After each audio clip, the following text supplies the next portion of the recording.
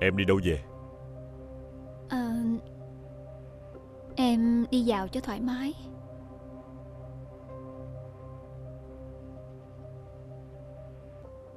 Đừng đi tìm anh ta nữa.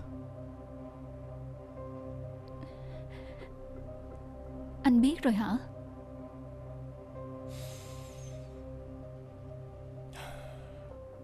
Anh sẽ không hỏi lý do. Vì anh biết Chuyện tình cảm rất khó nói. Nhưng em hãy dừng lại đi. Đừng cố chấp. Để biến mình thành người thứ ba, Khiến cho ai cũng căm ghét. Hãy đi xin lỗi chị ấy cho tử tế Và chấm dứt hết tất cả mọi chuyện đi. Em sẽ xin lỗi. Nếu chị ta chịu nhận lời xin lỗi của em Em biết là em sai, Nhưng yêu đơn phương là chuyện tình cảm của em. Em có phá hoại hạnh phúc gia đình của ai đâu. Em có ràng buộc anh ấy đâu. Không lẽ em muốn yêu cũng không được hả? Lỡ như anh ấy chết đi thì sao? Lỡ như đây là lần cuối cùng Em được nhìn thấy anh ấy thì làm sao?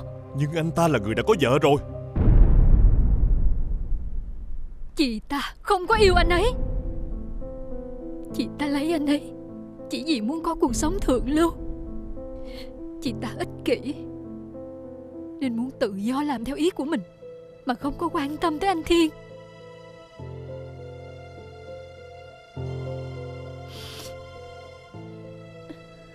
Nhưng còn em thì khác. Cái em cần Là anh Thiên. Dù có thể anh ấy Sẽ hôn mê cả đời.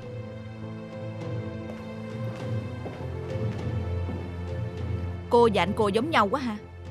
Chỉ giỏi ngụy biện. Cô đang nhân danh tình yêu hả? Thứ mà cô đang nhân danh là phá hoại hạnh phúc gia đình người khác đó, cô biết không hả? Là con giáp thứ 13 đó. Vậy mà còn cho mình là đúng hả? Thật là kinh tởm.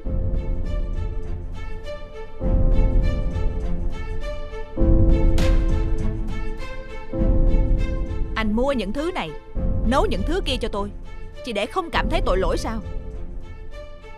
Anh đừng làm vẻ mặt hối hận đó. Tôi sẽ lấy lại từ em gái anh. Từng chút một. Bây giờ anh cô đã biết cô là người thứ ba rồi đó.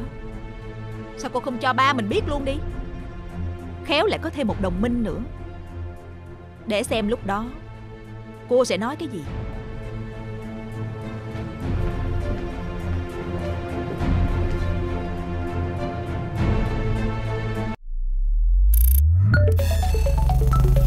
Bộ phim do Viettel Media sản xuất.